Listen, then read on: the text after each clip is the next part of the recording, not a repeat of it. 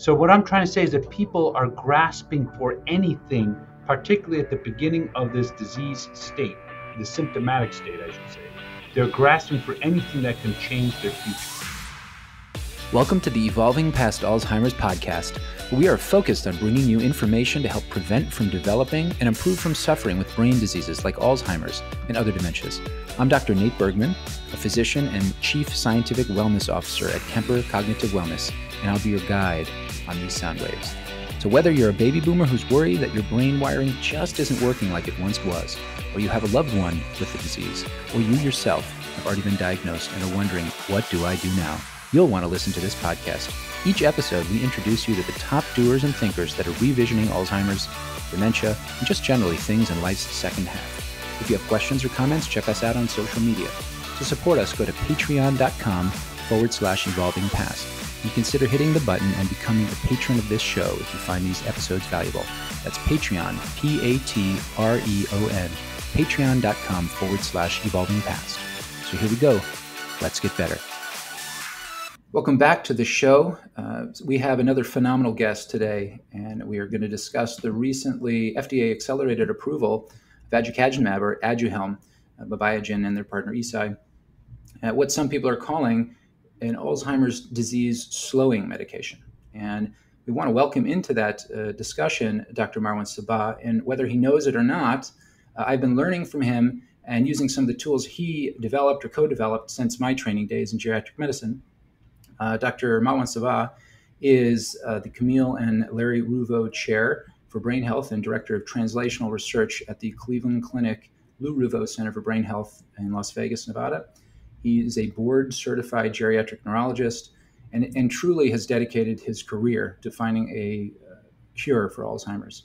Uh, Dr. Sabbagh is a leading investigator for many prominent national Alzheimer's prevention and treatment trials and has published more than 350 peer reviewed articles to date. Welcome to the show, Dr. Sabbagh. Thank you, Dr. Bergman. Nice yeah. to uh, see you. Uh, so, you know, like Marwan, you're a, clearly uh, a leader in the field because you've been at this for a long time. Uh, and so I was very excited when I when I was still at the Cleveland Clinic when you were recruited to lead over there. Uh, for this particular episode, I wanted to get into this new medication uh, uh, or Aduhelm, but just just to sort of for housekeeping uh, sake, can you uh, just as a matter of transparency and clarity for our listeners, can you clarify any disclosures you may have with Biogen, uh, the makers of this new newly approved drug? So, uh, thank you, Nate. I want to say to this audience, uh, by full disclosure, I am an advisor to Biogen. I am an advisor to the aducanumab program, but I also want to disclose that I have relationships with many companies developing many products, including Eisai, Roche, uh, Cortexyme, Athira. Uh, so I'm kind of advising many companies on drugs. Yeah, no question. I mean, that's clearly the way that it goes. There's no question about it. That's just how, how it's done. So thank you. I just wanted to get that way. Thank you. Yeah. Um, so can you, so there's all of this, this, some people are extremely excited about aducanumab and Aduhelm and uh, and some people are, are very pessimistic about it. But can you just kind of briefly explain what this drug is in simple terms and maybe the context for it within the treatment of Alzheimer's disease, sort of what you've seen? Because this, you know, it's not like aducanumab just showed up yesterday. I mean, this is something no. that's been, you know, 10, 11 years being studied. Yeah, so uh, the context is broad, and I will try to be uh, succinct about this. Uh, you, aducanumab is actually the fifth monoclonal antibody. So a monoclonal antibody is a synthetic manufactured protein, which is designed to find amyloid. You infuse it into the blood, and its sole purpose is to find amyloid and grab it and clear it out. Uh, we of course have uh, think of a monoclonal antibody as like a natural antibody. We have antibodies. We make our own antibodies to a variety of conditions and infections, etc. This is a manufactured version of an antibody. Uh, the reason this is important is that contextually speaking, you know, like I earlier said, uh, just said, this is the fifth monoclonal antibody. If you actually go back and look at earlier ones, there's been bapineuzumab, solanezumab, crenezumab, uh, and others. Uh, so it's not like you know suddenly we have this drug or suddenly we have this discussion. Um, this is monoclonal antibodies have been in development since 2002, uh, so almost 20 years uh, to be exact. Uh, so there's been a, there's each successive study, each successive successive monoclonal gets a little bit better. We're more informed. We get more information about it. Okay, and then and then um, so so so you uh, you've been um, outspoken. I, I should just say for our listeners, if they're not familiar, although no doubt our our listeners are certainly familiar with this. Um, the FDA just uh, earlier uh, last week on uh, June 7th or 8th gave an accelerated approval, which essentially is like a provisional or a tacit approval uh, for a drug, and that certainly this drug is not the first one, uh, to meet a need that's unmet, meaning usually it's for uh, introducing a therapy uh, for a disease that really doesn't have another therapy. Um, so accelerated approval. So not full approval, provisional, you know, it's sort of provisionally on, you know, let's say there's be a phase four clinical trial or something like that. But um, you have been uh, an sort of an outspoken um, proponent of this medication. Uh, you co-authored, I believe, a, a, letter to the FDA early this year, I think, um, in, in, with several others and other organizations uh, saying, hey, we, we, we, we are urging you to approve this. So, kind of given the, the controversy surrounding this approval, can you give us what, tell us sort of what makes you optimistic about this particular monoclonal antibody, this particular uh, drug? So, there's uh, a long history here. Uh, um, so, let me just say to you, I am a neurologist by trade and my day job is seeing patients with Alzheimer's and dementia. Uh, I am the guy who is giving them the diagnosis. I'm the one who's telling the people you have a terminal brain disease. I'm the one who ha- holds their hand and say we're going to get through this. So that's an important point that everybody should know. Dr. Marwan's not just a research guy who's saying, you know, this is what should be. He's not just pushing numbers. He's actually seeing patients. So that's I think that's really important to point out. Yeah, and I'm seeing patients still about 50% of the time. And wow. you know, uh, when you talk about talk about mild cognitive impairment, which is where this drug is going to be slotted, really in the earliest stages, in the early symptomatic stage before they're before they're reaching full dementia, uh, patients are still aware, they're still functional, they're still viable, they're still independent, and they're all terrified. Every one of them is terrified because they know where this is going. This is an end. They know the outcome is not good. That and they're they're afraid. And you know, I can talk all day long about exercise and diet and health care and lifestyle changes and crossword puzzles, etc. And those are good ideas, and they feel good, and the science is good, and the data is good. But the inevitable probability is is they will still get worse over time. Cholinesterase inhibitors, that's the donepezil, rivastigmine, and uh, galantamine, have very modest data in the mild cognitive impairment phase. They're not approved for mild cognitive impairment. There's no issue. It just doesn't work very well. So what I'm trying to say is that people are grasping for anything, particularly at the beginning of this disease state, the symptomatic state, I should say. They're grasping for anything that can change their future.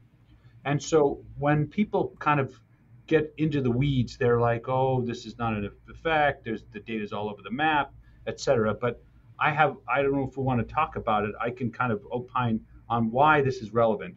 What yeah, I can I say to people, is, uh, to this your audience, is that the drug has a modest effect, a 22% slowing in the rate of decline. The CDR, the clinical dementia rating scale, is a very, very hard instrument to move on a, uh, uh, and just to let people know what that is, it's a structured interview. So the physician is blinded to the research assignment of the drug. He does a interview of the patient and he does an interview of the informant, and he compares his notes, of course, to his previous notes, and he comes up with a score. And the score is anchored in six domains, and then they render something called the sum of the boxes, means you out all the boxes from each of those domains. Yeah, that means yeah, I'm, I'm just curious. How long does that interview typically take? Do you know, on average? About half hour. Okay. Uh, you know, I do. I've done so many of these. I can do them about 15 minutes. Okay. Uh, but a CDR, that's to say that the physician can see a blinded physician has determined that they can see a slowing in the rate of decline. Okay. Uh, and so you know, I will say to you, people don't understand the whole biology of amyloid. Amyloid and cognition don't correlate very well with each other. And a lot of people, a lot of people think that the effect of an aducanumab or its other drugs in the class, lecanemab, gantenerumab, donanemab, et cetera, may have an effect not because you're removing amyloid, but because you're making the brain healthier. It starts to heal itself.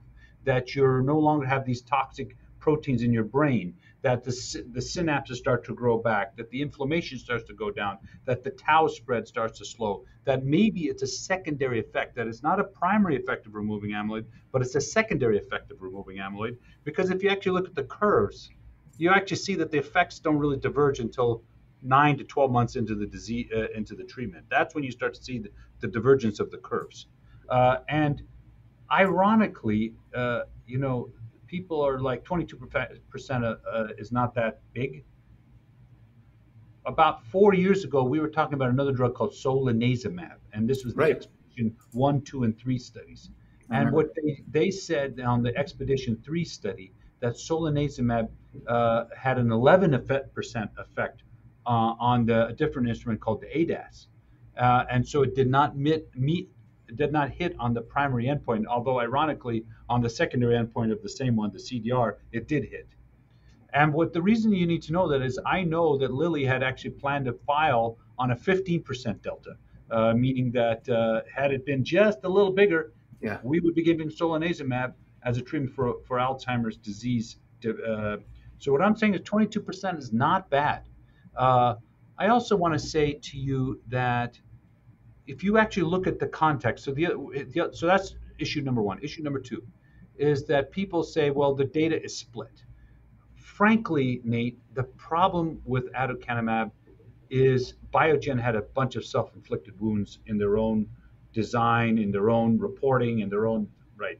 They had done. You know a- this because you were in. You mean you were a, a trial site and you were an actual investigator. You were someone who was part of this. Yeah. Oh yes, and not only that, I, I you know I, I I've been in this field like I said 25 years more. I was one of the very first people to give a monoclonal antibody, a drug called bapineuzumab. I was one of the very first people in the world to give this dr- this class of drugs to human beings. And let me tell you, we learned a lot along the way. That first time we were doing this was 05. Uh, uh, Mhm. So I want to tell you that again, this is not new. This is new to this audience. Yes. Right. We've been working in this field for over 15 years.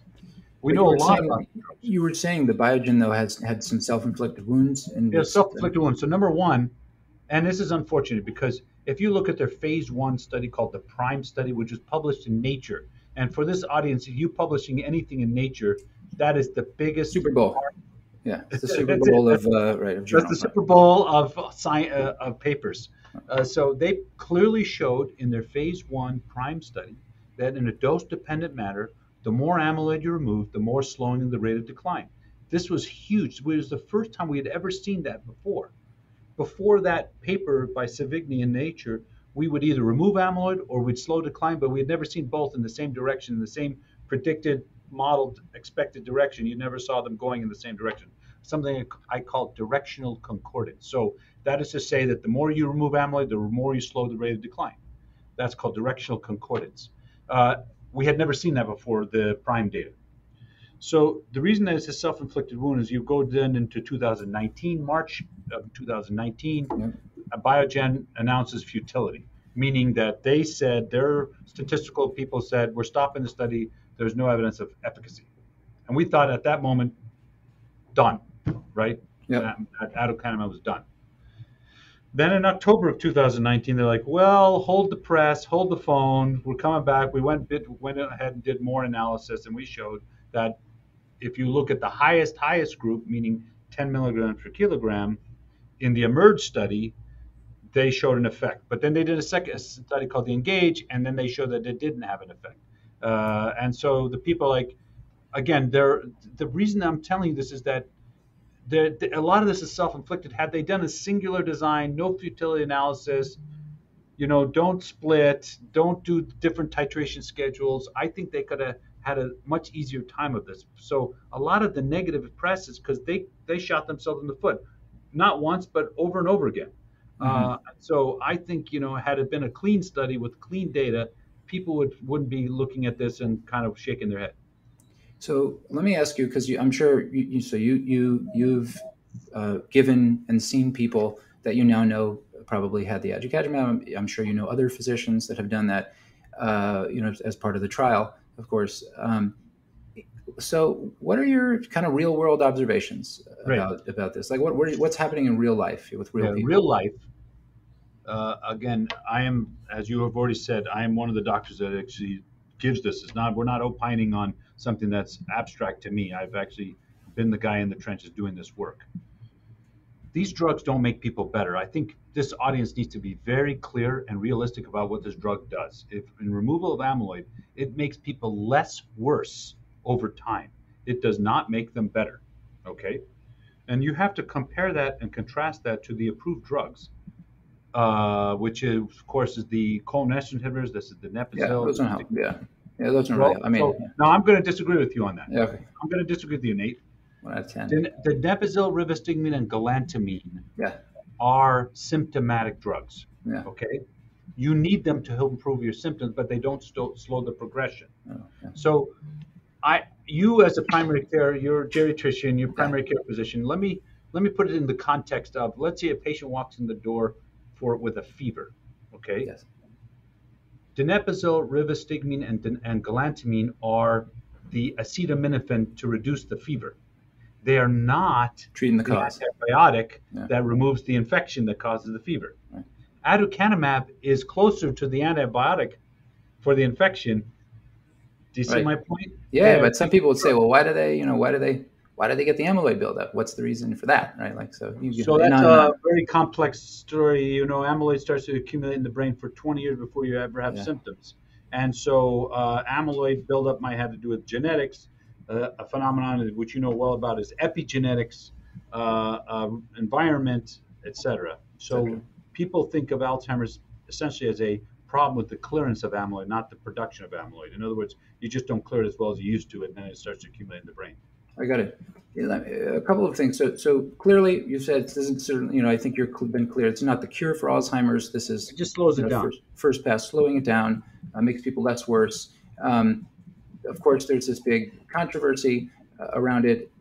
Do you, with the accelerated approval, is there a reason why, and you know, given the cost and the cost of the healthcare system, et cetera, et cetera, um, why wasn't there a restriction to use the medicine for the for the people that they saw that improved in the study, so to speak, like people with mild cognitive impairment of the Alzheimer's kind or very early Alzheimer's disease? Is, is there, in your yeah. in your opinion, like what what do you think? Why wasn't there sort of a restriction? Yeah, I was surprised by that, Nate. I have to say to you that I thought that the label would be quite narrow. I was surprised how broad the label is. Um, I think they basically opened the door for many more people than should get it that will get it. Uh, uh, we know, at least from the data, that the drug, would, if it's going to work, it's going to work in the mildest symptoms. So beyond a certain state of mind, it's not clear that it's going to work. Uh, I don't have a clear opinion as to why that is okay. W- would you, and I, you know, if you don't answer this question, you don't have to answer it. I'm putting you on the spot a little bit here. Would you, if somebody said, "Hey, I'm bringing there my wife. My wife's, you know, we're about to move her into the nursing home because she, you know, she's putting on her pants backwards and you know she can't use a phone anymore." Uh, we heard about aducanumab.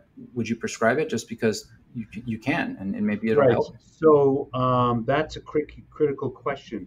First thing I will tell you to this audience is the one thing that we have to do is that everybody has to be proven to have amyloid in their brain. Yeah, One thing we learned from that. early, early previous studies of drugs is that we were giving these kinds of drugs to patients who didn't have amyloid, and that was a disaster. Right? What happened? Uh, it just was a bad idea. Imagine giving a drug, a, a monoclonal to a patient that doesn't have amyloid in their brain. That's what we were doing. So up to a third of people were getting it.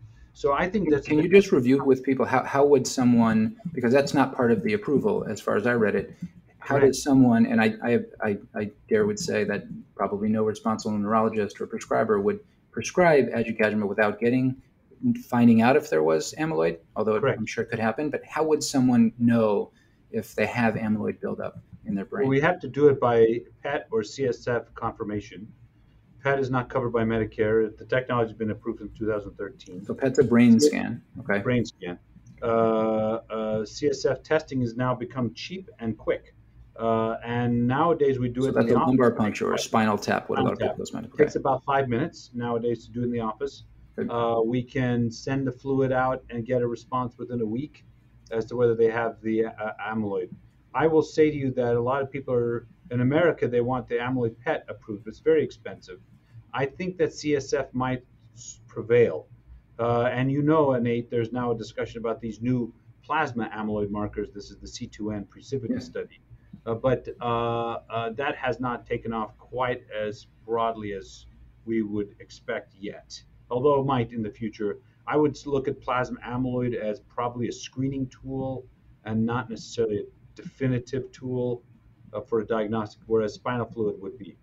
And uh, I heard that uh, now that the spinal fluid is sent to a Mayo Clinic lab to, to get run, and they will do it. Biogen's going to pay for that analysis. Interesting. So more to come on that. Um, so I want to go back to the question of the, the, the person in your office who's with his wife and she's 83 years old and she's you know he's, he's thinking about moving her into a, an assisted living or something like that. And he heard about this and you know they were able to afford a PET scan or they, she submitted herself to you know lumbar puncture, a spinal tap, and they saw that there's amyloid. You know there's evidence that amyloid. Uh, or consistent with you know uh, amyloid uh, and Alzheimer's what would you say to that person? You know, like how would that conversation look? Do you think? I would say to them, and I'm sure I'm going to have this conversation Oh, because yeah. I will tell you, since I uh, been this week, I've had aducanumab conversations So have we. at Yeah. the time. Um, I would say to them, look, the drug has been shown to have really significant benefit in the very mildest symptoms. We just don't know if it works in the moderate. There is a bit of risk. Uh, uh, I wouldn't say no, but I'm saying that the chances are it's going to have very limited benefit, and it's just unknown. Okay, and how how you have the knowing what we know now, and I read the most of the 350 page report with side effects, etc., um, both Biogen's and some of the other analyses, and um, how you know what what are you comfortable saying in terms of talking through the risk? You know, when you talk about ARIA and you know, et cetera, et cetera. Yeah, so ARIA is a term that we use in the field, right? So it's not a term that most people are aware of. ARIA stands for amyloid related imaging abnormality. It's, it's something you see on a scan. ARIA, in most cases, is either referring to vasogenic edema or brain swelling, or microhemorrhages, so these little spots that start to show up in your brain. And uh, uh, it's a good question that we would expect uh, these. Uh, uh, that a certain percent of people are at risk for getting the vasogenic edema or brain swelling. When we first saw it a decade and a half ago, we got really scared by it. But the, re- recently, we're like, eh, it's just a little swelling. It's no big deal. Most time it's, it's asymptomatic. It's clinically asymptomatic, and we just manage it by stopping a, a dose or two, uh, and it doesn't cause anything that's problematic. So most of the time, the complications related to uh, to aducanumab are not of concern with this vasogenic edema or microhemorrhages. Uh, but uh, when you first time you see it, I remember very clearly the first time we saw it, it was it was scary. But now it's like, eh, you know, kind of just work through it. Does it? Do people? I mean, so you see it on image. This is something that's picked up on MRI. Do, do people usually? Do they feel? There's a, is there sort of a correlation between they, you know, they're not seeing well on the left side, or you know, like they're Right. more dizzy, Yeah. or their balance is impacted? Right. Yeah, so most of the time they're asymptomatic. The doctor is not aware of it, the patient is not aware of it. Okay. Sometimes when they're symptomatic, I would say they're minimally symptomatic, meaning a touch of a headache and a touch of dizziness and a touch of confusion. Uh, but that would be it. Uh, and most of the time does not need to go to the hospital, doesn't need a steroids, doesn't need spinal tap, all the things we get excited about for vascular swelling in the brain, you know, because it sounds scary. You know, if I Yeah. just said brain swelling, that sounds scary. But the fact is, is that it's uh, most of the time nobody's even aware of it's occurring. Okay. Have you heard of anybody getting worse on aducanumab? I'm sure somebody must have, but I mean, is that I don't know that because most of the data is on research study, uh, it's in trials. okay? Fair enough. And, but I will say to you, Nate, that we've done other drugs that have patients gotten worse. I mean, I've seen it twice in my career, where we give them a study drug and they actually got worse on it. So you cannot say it's not, it can't happen. So that's so, so interesting. So I, and I want to be respectful of your time here. So so you mentioned past trials. You mentioned other drugs in sort of the same family or working in somewhat the same way as this new medicine. Um, do you have where in other words, where there's been an attempt to remove the toxic proteins of amyloid, and then um, and in often cases, you know, when you're following people, they, they had an extra amount. You're not using people that don't have excess amyloid like we used to do, apparently, at least in research. And then, you know, so now we're qualifying. You know, we have some good tests to to demonstrate that they have that. Then you're giving the medicines, and you can see that amyloid's removed, but a lot of people don't improve. Do you have any intuition as to why that might be? Yeah, because they think that amyloid has nothing to do with the disease. And uh, I would say to you that come and live in my world, and we'll talk about it. Uh, it's very nuanced. Amyloid okay. is very important. So, uh, to be clear, amyloid accumulation occurs mostly in the pre-symptomatic phase and does not correlate with clinical progression. But if to say it's not relevant is, is a person who's not really kind of deep in the weeds here. So when you're deep in the weeds, you know that there's the Alzheimer's disease is a biphasic disease. It's the pre-symptomatic amyloid-driven phase, and then the symptomatic tau, tangles, uh, excitotoxicity, neurochemical breakdown. So other things correlate, like synapse loss, much much better in clinical symptoms and clinical progression than amyloid does. Actually, amyloid does not correlate well. But to say it has nothing to do with disease shows it's not true. It actually is a driver of all this pathology. It causes damage to the brain. The accumulation of amyloid, and particularly a specific species of amyloid called an oligomeric species, damages the brain cells, the synapses, the environment. It, it, activates the inflammatory mechanisms called microglial activation. In other words, the brain starts to go, oh my goodness, this protein should not be here. Let's scavenge it and try to pull it out of the brain. So it's a very dynamic thing. It's much more dynamic than people thought it's not a slow accumulation. It's actually a dynamic uh, uh, condition. So uh, to say that amyloid has nothing to do with Alzheimer's is somebody who's not deep in the weeds. Got it. Absolutely.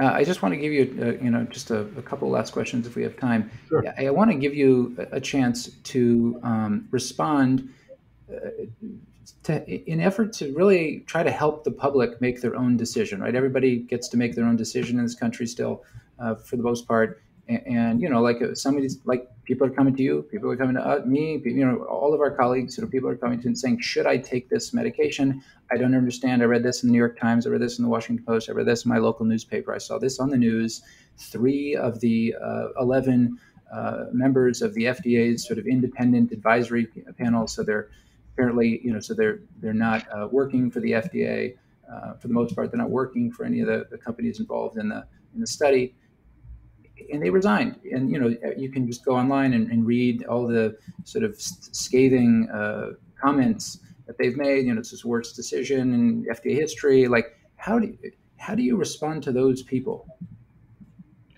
I respond to those people by saying, you know, I have been in this field a long time, uh, and we need to realize that it's not a panacea. The data is modest uh, but there are a group of people that benefit, and to to deny that uh, is just not taking the totality of data in mind. Uh, and I think you know the question is the risk benefit analysis. I hmm. also want to point out to you that we need this drug to kind of fuel the machine that could lead to better drugs down the road. I remind this audience that uh, it was not, atorvastatin and rosuvastatin are the seventh and eighth statins. It was not, you know we think of those as cholesterol medicines for heart right. disease, things like right. that. Right. We don't. People don't even remember the first one, like Baycol and Mevacor. Nobody uses those drugs anymore. No, because the better drugs came down the road. And if you, my point is, is that monoclonal antibodies may get better. Each one is better than the previous one. But to say that there is none and to criticize the data and say there's no signal uh, is is not true. The totality of the evidence is number one the class is showing a clinical effect. Two, they all remove drug, remove amyloid hugely. If you actually look at aducanumab, donanemab, gantenerumab, and lecanemab, they remove amyloid almost to zero. And uh, so the question you're trying to decide is, is removal of amyloid a clinically associated with a clinically meaningful change? That's the question you should be asking, not whether the drug works or not. It wipes amyloid clean out of the brain. I can tell you that. You can actually look at the scans. Yeah. So we know we can do this. We can do this very, very well. Lecanemab, gantenerumab, donanemab, aducanumab. Remove it as if it's not in the brain anymore. That's a huge success. We now have a targeted biological drug that targets the specific disease. The question are, is it is it too late? Are we treating patients because they should be getting this drug before the onset of symptoms? And B, is amyloid have anything to do with the disease process? I mean, these are the questions that should be asked. Uh, okay. Uh, but uh, I so to the controversy, I say uh, really, really got to see the nuances here. The second thing is is now the totality of evidence suggests that there is some slowing in the decline when you give this class of drugs. Not huge, but some. Uh, and actually, if you look at prime, if you actually look at the data of aducanumab in aggregate, meaning prime plus engage plus emerge. So these are the different trials. These, these are different trials. Yep. It's positive, by the way. It's positive. The high, the high true high uh, uh, dose group compared to placebo clearly slows the rate of decline. Like I said, wipes out amyloid to near zero in the brain. So you can't, you know, we can nitpick, we can split it, we can split hairs, we can disagree. Well, one's positive, one's negative. We can do all that, but if you look at the data in aggregate, a multiple uh, monoclonals showing the same thing. B that the data in aggregate shows a, an effect. C there's a huge unmet demand. Uh, and D, uh, my, this class of drugs now seems to be uh, uh on target. I think you can make the argument that it, it is a good idea. Excellent. And I, I, saw you say something I thought was pretty clever. It was, I think it was written. I can't remember if I saw it or watched okay. it or whatever, where you said, in order to have, you know, I think you were of the opinion and in the camp that probably like chemotherapy, HIV, heart disease, where you use multiple medications, uh, Alzheimer's will be no different in the future from a medication standpoint. Um, but in order to have the fourth and fifth drug, you have to have the first drug. I think right. something 100%. like that. 100%. The future of Alzheimer's is chemotherapy. It's not going to be a one drug target. It's going to be a five drug target. And ironically, people are not even realizing that we're already doing that. Okay, if you look at a drug like, uh, if you look at the clinical trial of aducanumab, Engage and Emerge, you were allowed to take Aricept and Namenda on top uh, in the background. So there is no true placebo. It's adu plus standard of care versus standard of care plus placebo. Do you see my point? Yeah. So these patients never were on nothing. Yeah. In fact, we haven't done a tr- clinical trial on nothing versus study drug in decades. Okay. Yeah. There was a decision made very early on, 20 years ago, just like stroke trials, you could never do a stroke trial that doesn't at least have aspirin as the comparator. There's considered unethical to give a stroke trial where you have no no the placebo group placebo group yeah. is has nothing. There is no that's that's unethical. That's ethically rendered. Same thing with our Alzheimer drugs. It is very unheard of nowadays to do a trial where you have no where the placebo is really, really a placebo and there's nothing else. Yeah.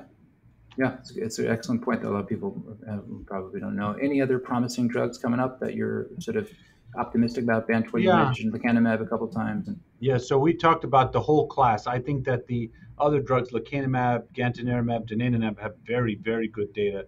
And uh, I think that the door has been opened for a better pathway with those drugs, which may or may not, but possibly may have even better data than the aducanumab data. So we'll wait and see on that. Any sense uh, of the timeline on that? Uh, yeah, so we're looking at one approval per year. I think Gant could be approved by the end of 22, lecanemab end of 23, and donanemab by the end of 24. Hmm. And then you have other drugs kind of up rising up through the ranks. The Cortexyme Core 388, Athira's ATH 1017, Alzheon's ALZ 801, uh, and of course other drugs. So this the field is booming. There are over 75 drugs in dr- trials for Alzheimer's disease. To say there's nothing going on is is is groundbreak. Is really not consistent with the reality. I heard a Nate. I heard an interesting statistic that you would very find very interesting. Yeah. For the drug approved, aducanumab, how much was spent in investment by the pharmaceutical industries to see this first drug approved in 20 years? Do you want to guess? So by the pharmaceuticals in general, or just aducanumab? No, in general, across the board. Oh, billions.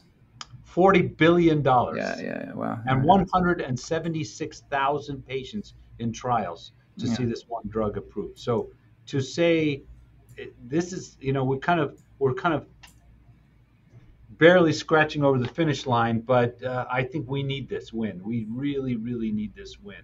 I have to tell you, you, the thing you see in patients when they have mild cognitive impairment, you look in their eyes, Nate, and they have fear. Like Oh, I know. Suicide. I've had two patients that are suicidal. You know, they're Yeah. You know, there's, fear. They uh, and they're panicked Oh, because yeah. they know where this is going. All of them. yeah.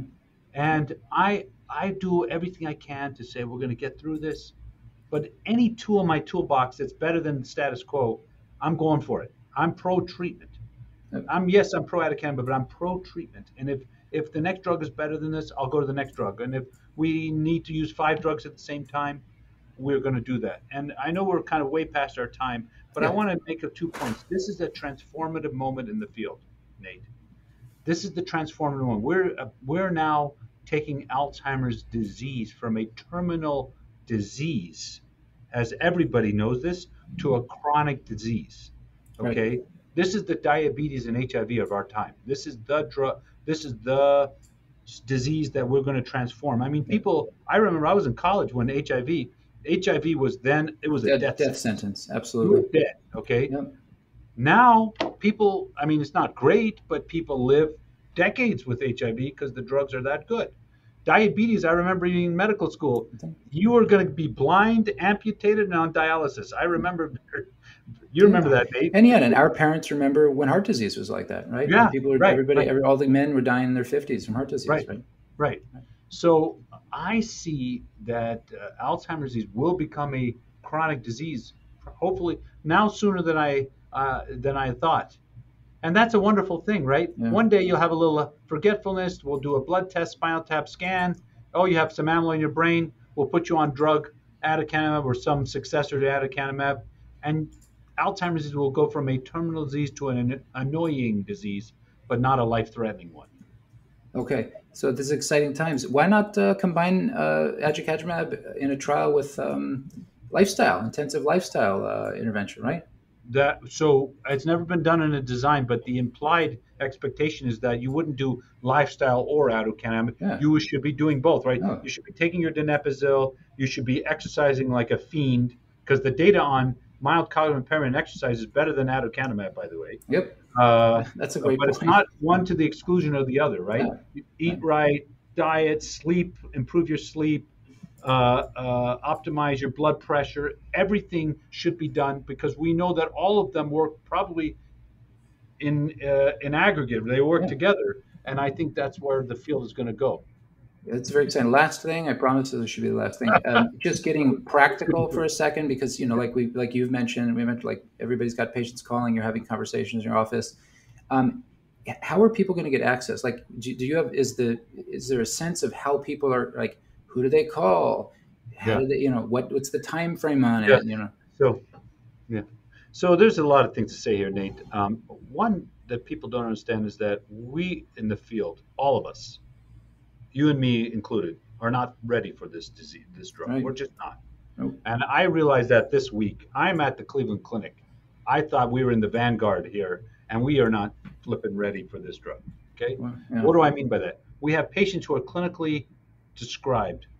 Most patients go get a diagnosis, but they don't have any biomarker confirmation that they have amyloid. yes, So exactly. we have a whole, we have thousands, tens of thousands, possibly millions of patients who might be eligible, but we don't have any idea if they have amyloid in their brain.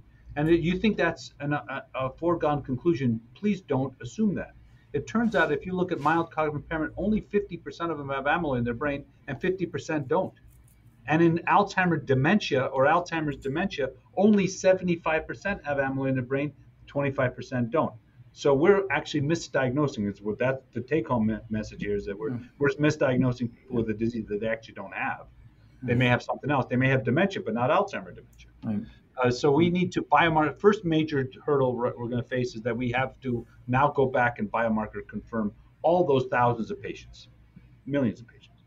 Second thing is, is we know we're gonna. It's going to be complicated to get these patients into. You need MRIs. You need safety protocol checklists. You got to get them into the infusion chair. You need to make sure that they're going to be scheduled every month. Third is there's going to be a titration schedule. So it's not like suddenly you're going to get 10 milligrams per kilogram, which is the top dose. Right. You got to get there, right? So it's going to be two or three months of one milligram per kilogram, two or three months of three milligrams per kilogram, two or three months of six milligrams per kilogram, and then 10 milligrams. So it'll take almost a year, it's like eight to 12 months to get you to the dose. That's for the so that people will get the uh, safety. That's all for safety purposes. So there's a lot of complications, and no, the field's not ready.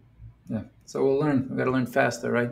Oh yeah, this is where kind of this is all of us, all of us, you, me, we're all being thrown in the deep end, and we're going to learn how to swim. Even though we've been doing this for a living, we got to learn how to do this uh, uh, right away. Well, we really appreciate your time, your expertise, and, and really it's rare to, to meet someone with, with this kind of track record and experience to speak to these issues. I really appreciate your spending time with us. Of course, be will. So that's our episode. I hope it was useful to you.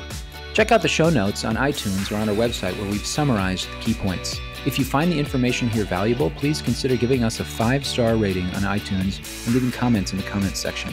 It will really help us bring this message to as many people as we can. If you have questions or comments, connect with us on social media. Finally, to support us, go to patreon.com forward slash evolving past and consider hitting the button and becoming a patron of this show. That's Patreon, P A T R E O N, patreon.com forward slash evolving past. Thanks. We'll talk to you next time.